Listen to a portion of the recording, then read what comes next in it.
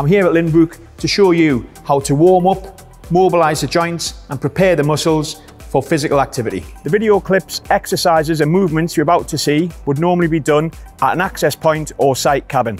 In this video, I'm going to talk about the warm down and stretch after activity. Now during activity, the muscles, when they're being used, they become, all the muscle fibers become misaligned. And all we're trying to do with developmental stretch of the muscles to realign the muscle fibers. Now we need to hold these stretches for a minimum of 30 seconds. So I'm going to start off with a compound stretch of the back of the leg and the shoulder.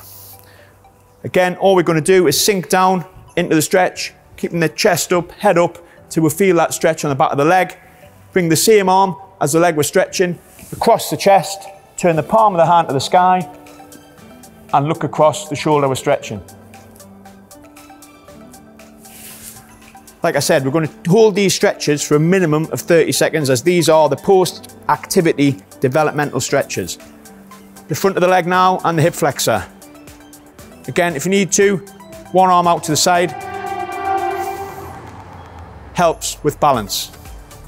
I'll show you that from the side. One arm out to the side and we're trying to keep our knees as best we can in line. For the upper back, we put our chin on our chest and as if we're hugging a big tree, link the fingers together and arch the upper back out. To feel that stretch across the top of the back and the backs of the shoulders.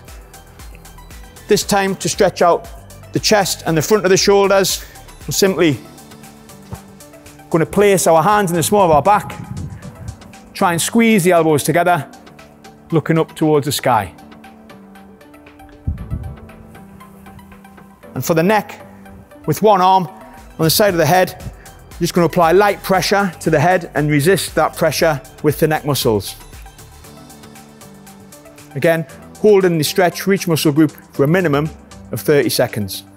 By following Tony's guidance, based on the Royal Marines ethos, you can reduce the risk of any injury when completing any workplace activity.